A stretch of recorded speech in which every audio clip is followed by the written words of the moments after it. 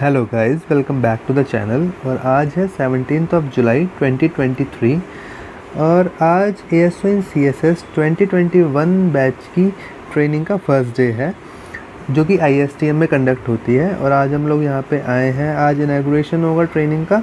तो देखो, ये एक पोस्टर लगाया हुआ है गेट पे ही, जिसमें मेंशन किया हुआ है कि तीन बैचेस में डिवाइड किया जाएगा ट्रेनिंग को। ऑडी वन ऑडी टू और लाइब्रेरी ब्लॉक में बैठेंगे।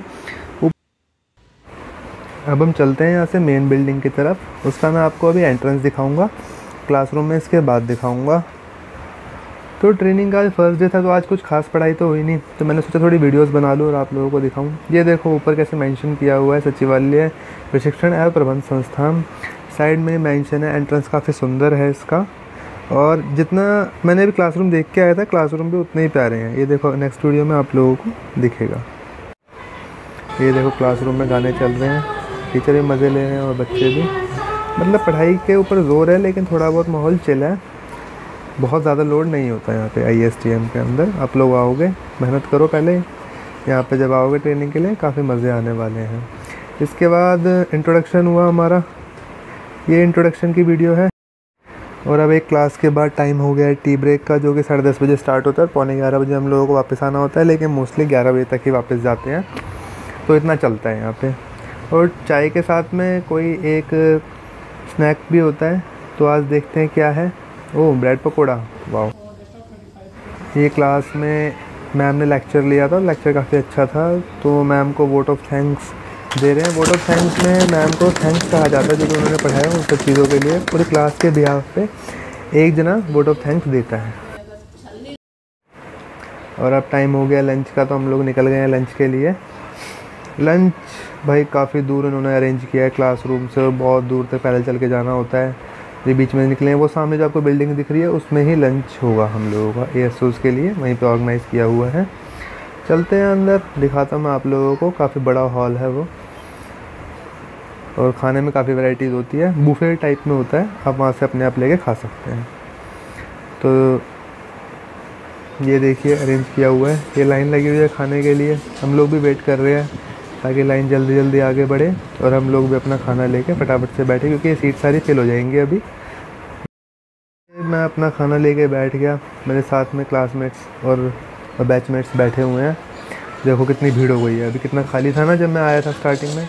अब खाना खाने के बाद हम लोग आ चुके हैं अब स्पोर्ट्स एरिया में, जहाँ पे पूल और टेबल टेनिस प्रोवाइड किया हुआ है। आप लोग खेल सकते हैं। साथ में जिम भी है लेकिन जिम ओपन होता है मॉर्निंग में और इवनिंग में। तो अगर आपने हॉस्टल लिया हुआ है तो आप जिम को भी यूज़ कर सकते हैं फ्री ऑफ़ कॉस्ट अब खाना खाने के बाद दोबारा चलते हैं क्लास में और देखते हैं वहाँ पे क्या हो रहा है।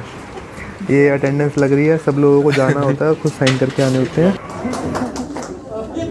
लेक्चर स्टार्ट हो चुका है और सर ये काफ़ी ज़्यादा एंटरटेनिंग है और खुद भी हँसते हैं और बच्चों को भी हंसाते हैं काफ़ी ज़्यादा। ये सामने रखे हैं बैग और बॉटल्स जो कि अभी हम लोगों को मिलेंगे और सब इसका बेसब्री से इंतज़ार कर रहे हैं क्योंकि सबको ओपन करके देखना है एक्चुअली बैग और बॉटल्स कैसे हैं। ये लो भाई जिसका वेट था वो टाइम आ गया। बैग और बॉटल्स मिल रहे हैं वो मेरा फ्रेंड ले रहा है सामने। और वो काफ़ी खुश लग रहा है शक्ल से। देखो खुश स्माइल देखो उसकी पूछता हूँ उससे ज़रा। हाउ डू यू फील मज़ा आ गया।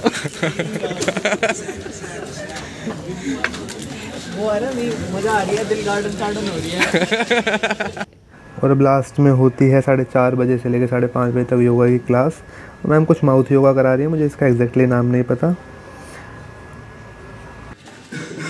बहुत ही हेक्टिक दिन था और पूरा दिन स्पेंड करने के बाद मैं आया हूँ अपने फ्रेंड के हॉस्टल रूम में। उसका रूम देखने के लिए कि किस तरीके के रूम उन्होंने प्रोवाइड करवाए हैं। मैं आप लोगों को भी दिखाता हूँ, ज़रा कैसा रूम है। अब ये डोर ओपन कर रहा है। अंदर जाके देखते हैं ज़रा कैसा है। कॉरिडोर तो काफ़ी अच्छा लगा साफ़ सफ़ाई भी है।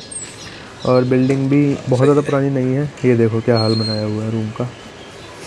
इसमें हर रूम में एक्चुअली तीन बेड हैं लेकिन दो अच्छा लोगों को ही ठहराया हुआ है यहाँ पे। और डबल शेयरिंग में ही रूम्स दिए हुए हैं। वॉशरूम भी काफ़ी साफ़ है। और बालकनी देखते हैं ज़रा बालकनी से व्यू कैसा है। एक्चुअली इसका जो रूम है वो कॉर्नर का रूम है और सिर्फ़ फ्लोर पे है। तो राइट साइड में तो भाई पूरा कैंपस दिखता है, पीछे सीआरपीएफ का है कैंप वो दिखाता हूँ मैं आपको, देखो वो वो वाला एरिया जहाँ पे हमने लंच किया था। और ये सीआरपीएफ का ग्राउंड है, वहाँ पे ट्रेनिंग चलती है उनकी। नीचे रोड है और